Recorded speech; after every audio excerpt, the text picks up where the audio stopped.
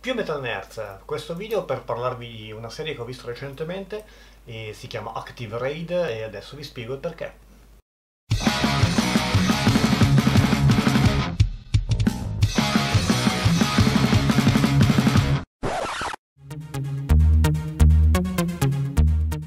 Ci troviamo in un futuro non tanto distante. Eh, la città di Tokyo è stata sconvolta da un'enorme frana che praticamente ha inglobato eh, parte della, della, sua area urbana e quindi ci troviamo con uh, una città compressa di popolazione in cui diciamo che il degrado e quello che può essere la criminalità è in netto aumento.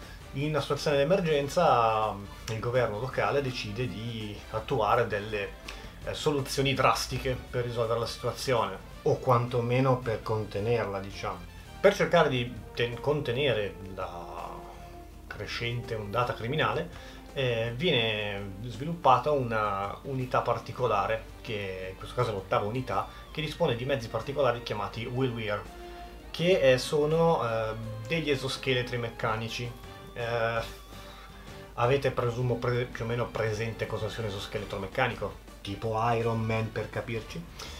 Ehm, riprende molto di quello che è no, l'immaginario tipico di quel tipo di nazione, perché comunque i giapponesi sapete benissimo che in molte serie sia live action che o meno eh, utilizzano spesso personaggi in armature o comunque costumi che sembrano armature eh, per combattere i criminali. In questo caso si tratta di veri e propri esoscheletri, quindi gli esseri umani sono perfettamente normali, ma sono potenziati da questo esoscheletro, come Iron Man. Quindi sostanzialmente quello che vi trovo davanti è un Iron Man giapponese Sono tanti Iron Man in realtà perché è una squadra e ogni armatura ha poi le sue caratteristiche particolari. Eh, vengono utilizzate proprio perché anche i criminali spesso sono dotati di questo tipo di tecnologia più o meno avanzata e per la polizia comune non è possibile sostanzialmente catturarli o comunque fanno parecchia parecchia fatica. Rico desu!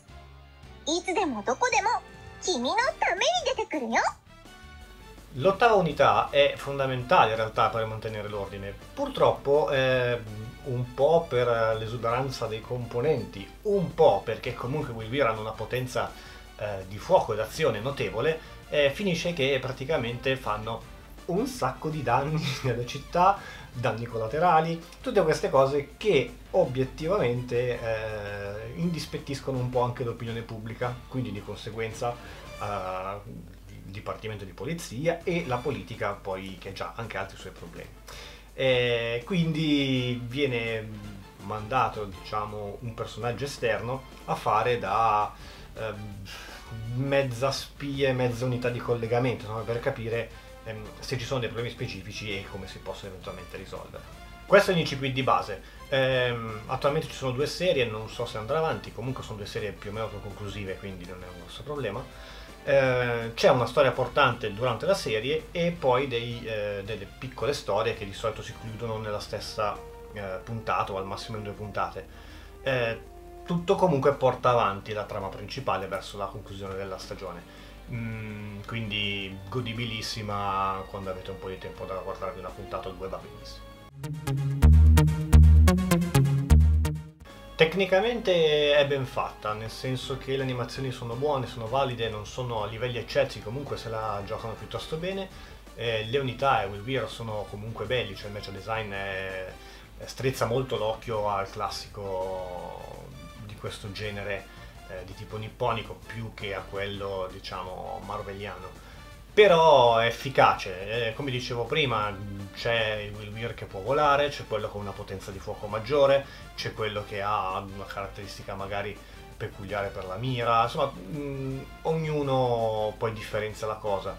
Eh, la cosa particolare è che per agire questi poveri disgraziati, siccome appunto sono anche un po' eh, sotto critica, eh, tutte le volte devono aspettare autorizzazioni perché c'è anche molta politica in realtà in, uh, in Active Raid, quindi non è che questi prendono, partono e vanno. Eh, loro prendono, partono e vanno, ma poi prima di poter agire hanno bisogno dell'autorizzazione e del comune e del, quindi c'è tutta una serie di, di piccole cose che creano, eh, se volete, un po' di, eh, di realtà e anche di simpatia perché comunque sono messi anche un po' come fastidio e anche ostacolo chiaramente. La cosa bella è come arrivano sul luogo, mh, sempre per un discorso anche di costi, e siccome movimentare tutta sta roba è, è grande e pesante, eh, si è pensato di utilizzare le linee ferroviarie. Nel momento del lancio un'unità particolare di questo che è un enorme treno viene agganciato a un treno ordinario della linea metropolitana di Tokyo. Si attacca, viene trasportato più o meno in procinto della zona e poi una volta lì si sgancia e con delle catapulte vengono poi lanciati i Will È, bello perché comunque integra tutto molto bene anche nel, nell'urbanizzazione di Tokyo e dà anche l'idea del fatto che eh, il treno è un sistema rapido ed economico per arrivare in, nella zona del, del problema. Sostanzialmente il eh, tema portante di tutto l'anime rimane sempre il discorso della, uh, degli intrighi politici e di quello che può essere uh, visto come libertà piuttosto che eh, regole, insomma è abbastanza complicato. I villain sono sempre persone piuttosto intelligenti che architettano piani abbastanza complicati, ognuno con le sue motivazioni.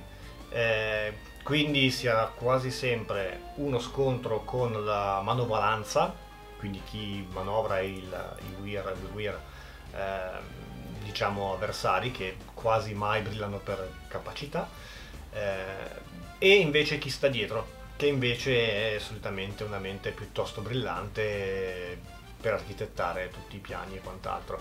E questo rende tutto abbastanza dinamico perché si può portare avanti più livelli della, della storia sostanzialmente. Ma perché mi piace? Ci possono essere diverse motivazioni perché mi piace. È, è dinamica, è divertente, porta avanti molto anche le storielle dei personaggi, quindi approfondisce sia il lato più mecha azione che quello invece più storia personaggi. La cosa bella però è, è come viene realizzato il tutto. Eh, c'è una, una, chiave spesso anche un po' ironica di molte cose, quindi trovate sia l'azione sia ironia ed è un qualcosa che mi piace tremendamente perché mi ricorda Pat Labor. Mm, da, dalla prima puntata che ho visto mm, mi è subito venuto in mente Pat Labor perché è ok il discorso della polizia, eh, là si usavano i labor che sono più mecha se vogliamo perché sono un po' più grossi. Eh, qua si usano delle tute potenziate ma il concetto è lo stesso un'unità speciale della polizia che deve combattere contro problemi comuni mm, contro avversari c'è il problema che comunque stai combattendo in città non puoi fare che sparare tutte queste cose qua e eh, un'ironia di base perché poi le situazioni che si vengono a creare spesso sono comunque pericolose cioè c'è un po' di tensione ma i personaggi sono abbastanza scanzonati, cioè non, non, è mai preso tutto ultra seriamente, anche se ci sono comunque anche lì lo, dei momenti un pochino più seri, diciamo. E mm, è per quello perché l'ho trovata una rivisitazione fresca di un genere che adesso attualmente vedo abbastanza poco.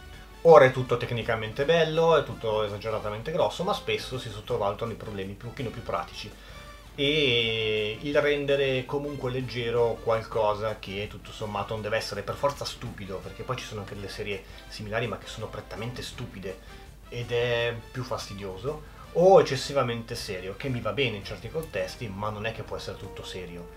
Quindi questo l'ho trovato brillante perché sta proprio a metà, quindi non è né pesante da una parte né esageratamente leggero dall'altra, quindi godibilissimo in tutto e per tutto.